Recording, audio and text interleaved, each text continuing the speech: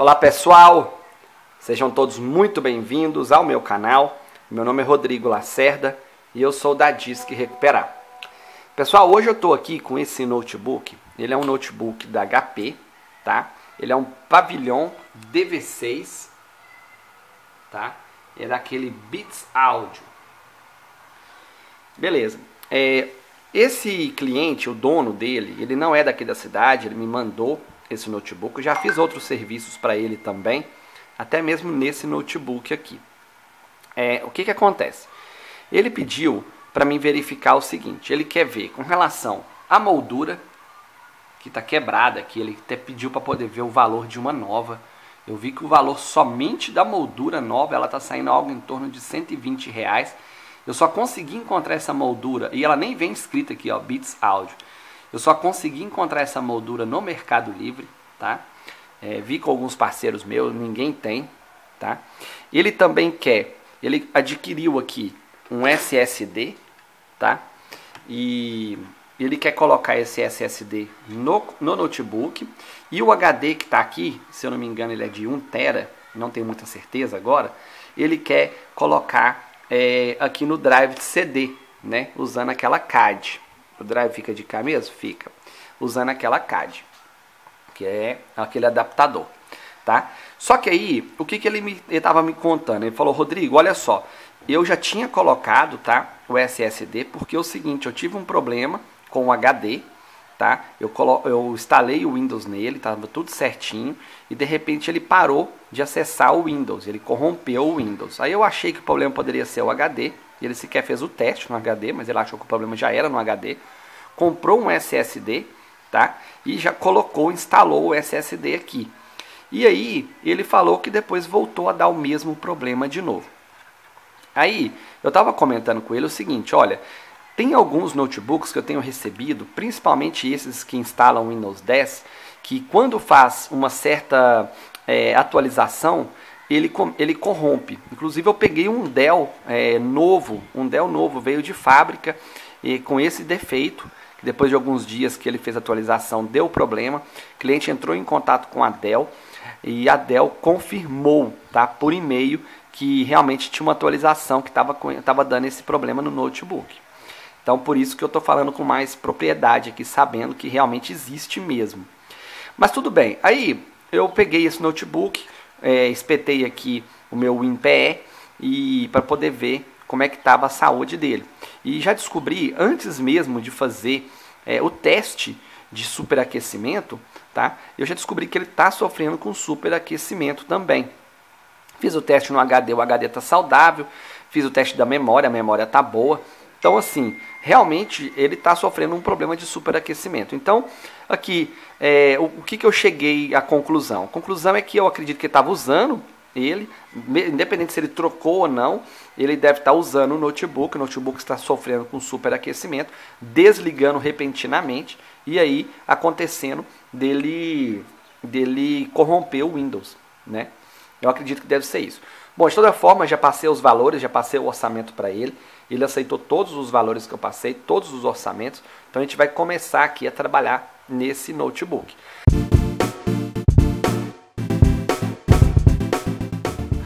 Bom, pessoal, a primeira coisa que eu fiz foi desmontar, tá? O notebook, tá aí, e ficar somente com a placa aqui na mão para poder saber o que está acontecendo, que ele está superaquecendo, né? Porque se caso o problema for mais grave e aqui não der para resolver, então aí não adianta a gente ir colocando CAD, a gente ir reparando moldura, né? Porque aí não, não faz nem sentido.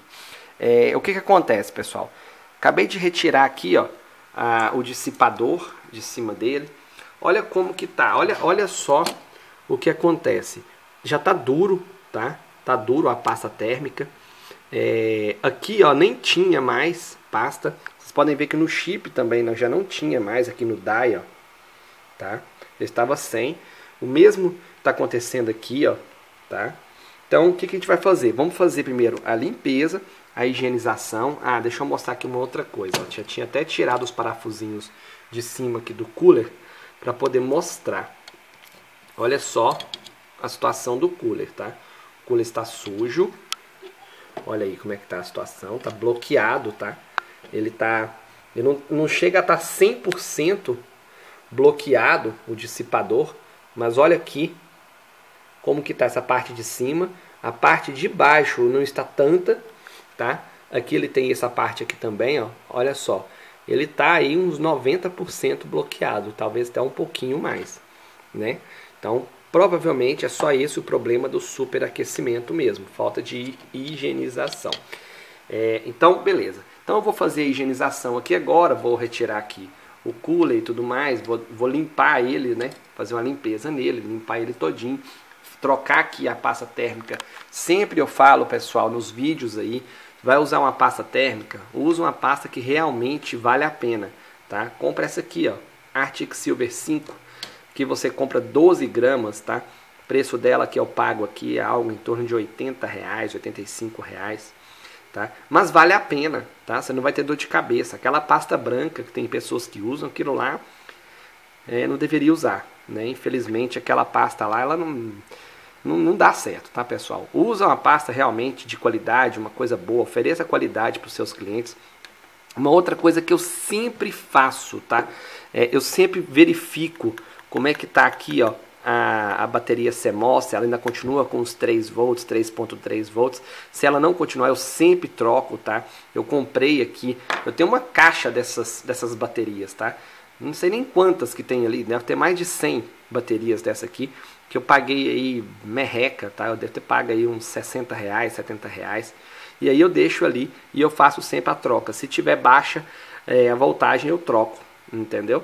Porque daí eu já estou fazendo, prestando um ótimo serviço. Já estou com a placa desmontada aqui, eu já faço tudo isso, já verifico tudo isso. Eu acho que vale a pena. Acho que me estendi demais. Vamos lá então, vou fazer a limpeza aqui, tá? E aí eu volto assim que eu tiver mais novidades. Bom, pessoal, fiz a higienização, troquei pasta térmica, verifiquei a bateria CMOS, ela tá boa, tá 3.15, 3.16, alguma coisa assim. Então tá perfeita, tá boa, ainda dá para segurar bastante tempo aí. É, eu fiz uma pré-montagem, vocês vão ver que na verdade ele tá aberto, tá?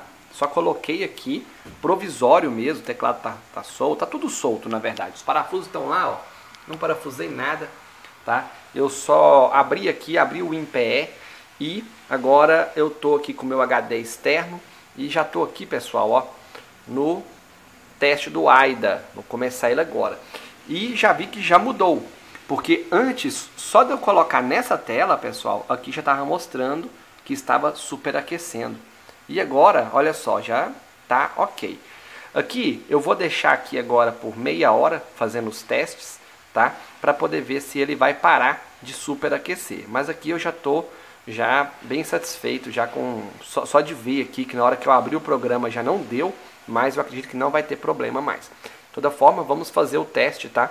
E assim que finalizar o teste, eu volto. Bom, pessoal, voltando aqui, ó, tá aí, já se passaram 34 minutos, ok? Desde que começou o teste deu tudo certo, tá? Não mostrou mais nada aí de superaquecimento. Então a gente pode dar sequência aqui aos reparos, né? Bom, pessoal, agora vamos trabalhar aqui na moldura dele, né? É, o que acontece? Então a moldura aqui está bem quebrada, a gente vai tentar acertar ela aqui, né? E aqui também, ó, olha só, aqui tem uma parte de borracha, vou mostrar do lado, de, do lado de cá, como é que ela fica. E aqui quebrou, soltou, tá? Mas a gente vai conseguir também fixar essa borracha de volta, tá? O único defeitinho que a gente pode dizer que vai ficar aqui vai ser essa partezinha aqui, tá? Essa partezinha aqui quebrou, sumiu, então não tem o que fazer, ok? Eu vou posicionar aqui a câmera para poder mostrar como é que eu faço esse tipo de reparo. Então, olha só, pessoal, vou juntar aqui, ó, as duas pontinhas, tá? E aí agora eu pego o ferro de solda e vou passando aqui para derreter tá bom? Ó, vou mostrar para vocês. Deixa eu tentar arrumar de uma forma aqui que fique bom para mim e fique bom para vocês também tá olhando aí. Tem que tomar muito cuidado para não queimar o dedo, pessoal. Na hora que for trazer aqui o ferro de solda, não posso esbarrar na câmera e eu tenho que mostrar também. Minha mão aqui ficou bem ruim, a posição tá péssima, mas eu acho que vai dar certo. Vamos lá. Eu não uso cola, tá? Sempre fiz dessa forma aqui, sempre deu certo, tá? Nunca tive retorno. Aqui a ideia é você passar de um lado para o outro, bem devagar, com calma, tá bom? Cuidado para não derreter demais e também para não derreter de menos, tá?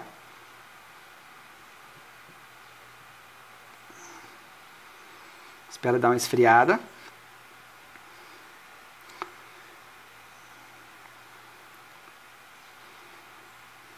Ó, vou soltar. E ficou assim, tá bom? Essa partezinha de cima aqui também, eu vou passar um pouco, bem de leve. Eu não gosto de ficar passando muito aqui, ó. Porque aqui, de vez em quando, quando passa, depois não dá encaixe na, na outra moldura, tá? As duas não se encaixam. Então aqui eu vou passar bem pouquinho mesmo. Ó, só isso mesmo. Ok? Então essa deu certo, a primeira parte. Agora eu vou fazer aqui, ó. Deixa eu ver onde que a câmera tá pegando. Aqui a parte do, do furo, tá? Deixa eu virar aqui para a câmera pegar direitinho. E agora o furo. O furo não, a borracha, né? Olha só. A borracha aqui, mesma coisa, tá, pessoal? De lá é borracha, daqui é plástico. Então tudo que você tem que fazer aqui, ó, é dar uma derretida nela e fazer ela encostar aqui com a outra carcaça, para elas unirem, tá bom? Vamos tentar fazer aqui da melhor forma possível. O meu medo, pessoal, é de não pegar, da câmera não pegar o que eu estou fazendo. Mas eu vou tentar aqui. Ó. Derrete. Espera, porque como o plástico ele derrete, depois ele demora para solidificar, você tem que ficar esperando um pouquinho, tá bom? Aqui é a mesma coisa. Só cuidado para você não derreter demais, porque se derreter demais não tem volta. Ok? E aqui no meio, pessoal, eu vou, eu vou tentar puxar ele para cá assim, ó, para ele derreter, para encostar aqui na parte de baixo, tá? Pronto. É só isso mesmo, tá bom? Só isso. Agora vamos ver o resultado, como é que ficou. Eu vou pegar a câmera aqui para mostrar para vocês como é que ficou. Olha só, do lado de cá, aonde está a borracha, opa, onde está a borracha, ó, tá firme, tá perfeito. E aqui em cima na ponta, ó, também tá perfeito, tá? Assim, claro, dá para ver, né, que tem um risquinho ali, mas é bem de leve. Bom, pessoal, fiz aqui a remontagem, né, da moldura. Olha aí como é que ela ficou, tá? Ficou assim, na parte quebrada agora ficou assim, ficou bem firme, tá? Aqui ficou ótimo também, ok? Aqui, pessoal, eu sempre fiz dessa forma, tá? Nunca tive problema, nunca tive retorno. Eu acho melhor do que usar cola, tá? Se você usa uma cola, dependendo da cola, com o tempo ela cristaliza e quebra, tá? Então, eu sei que existem algumas colas boas aí também, mas essa aqui é a forma que eu faço. Bom, agora vamos passar para a parte, pessoal, aonde eu vou colocar o HD, né? O HD dele. Ele, lembrando que ele tem um HD no notebook, e vamos até ver que eu tinha achado que ele era de 1 tera, mas ele é só de 500 GB, tá? É, esse HD de 500 GB aqui a gente vai colocar no adaptador, que é no, na CAD, né? Ou no CAD. E como é que funciona isso? A gente, primeira coisa, você vai lá, tira o drive, tá? O drive de CD do cliente, né? Aí você vai pegar, lembrando que o CAD você pode comprar ele. Aqui não tá pegando, hein? Você pode comprar ele aqui de 12,7 milímetros ou de 9,5, tá? Aqui eu tenho os dois para venda. É, como que você vai saber qual que é o CAD certo que você vai colocar? Você pode medir aqui à frente, ó. Pode colocar uma régua. Vai dar 12, vai dar quase 13, tá? Melhor aqui, né? No do cliente, né? Aí você vai medir aqui, você vai ver é, qual que é o tamanho. Se for 9, vai dar um pouquinho a menos aí, tá bom? Aqui, ó, eu já fiz a, a parte mais complicada, que é abrir isso aqui, tá? Então eu já abri, o CAD vem assim, você abre, aí ele vem, deixa eu descartar para ali, Aí ele vem o CAD, né, que é o adaptador, já vem com essa frentinha aqui, é, mas não dá para usar em todos os notebooks, eu gosto de fazer diferente, daqui a pouco eu já vou mostrar. E aí ele vem dessa forma aqui, tá bom? Juntamente com o CAD, ele vem aqui uma chavinha, tá? É, e os parafusos para fixação do, do HD, ok? Então, como que eu faço, tá? A primeira coisa que eu faço, eu pego aqui o, o drive original do cliente e eu costumo, é, com calma, claro, né? Não pode quebrar. Eu costumo tirar essa, essa frente dele. Essa aqui saiu fácil, hein? Saiu bem fácil. Então aqui eu já tirei a frente dele aqui, ó.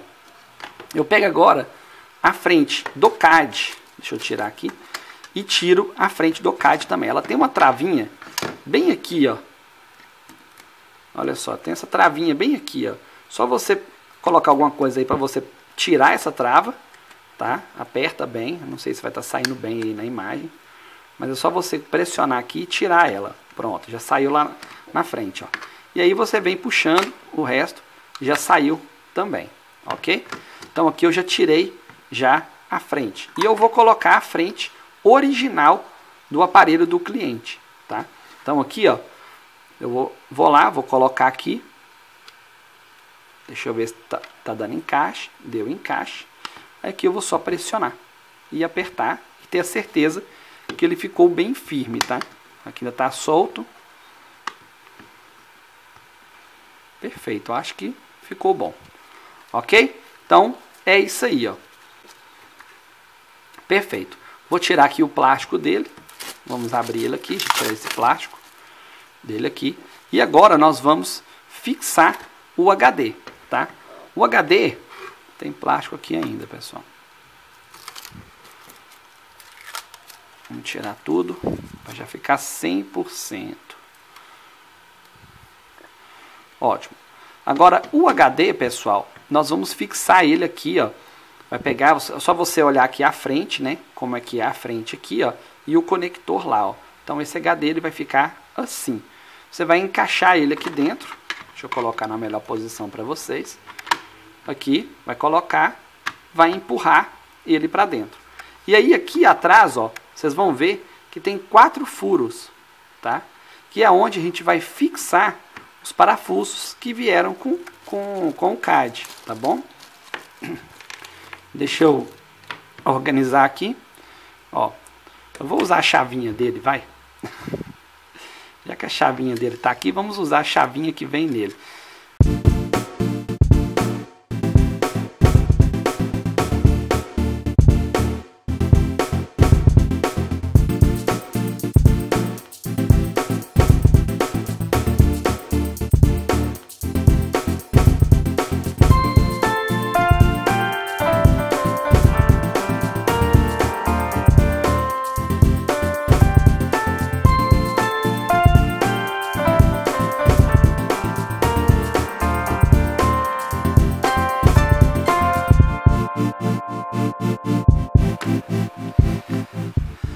Ficou pronto, pessoal. Tá aqui, então, coloquei. Agora vamos levar ele para o notebook. Bom, pessoal, é, tá aí, finalizei, tá? Já deixei instalado já o CAD, olha só.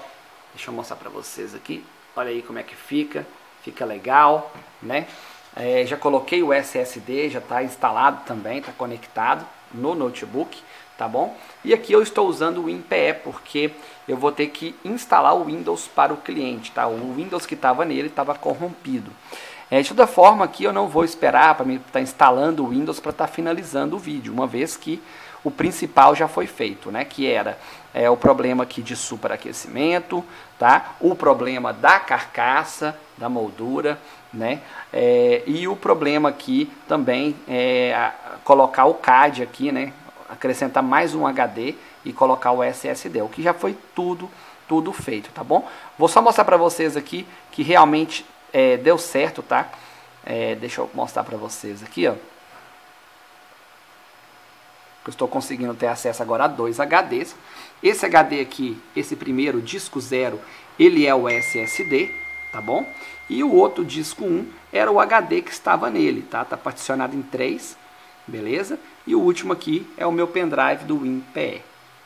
Ok? Então, tá tudo aí, tá certinho. Então, se você também está precisando aí de ter mais um, um pouco mais de capacidade no seu, no seu notebook também, tá aí a dica, né? Pode colocar o CAD, que é muito bom, funciona, realmente resolve. Espero que vocês tenham gostado desse vídeo, tá bom? Quem gostou, deixa o like. Quem não gostou, pode deixar o dislike, mas não se esqueça de se inscrever no canal, marcar o sininho para que toda vez que sair um novo vídeo você seja notificado. Um grande abraço e até o próximo vídeo.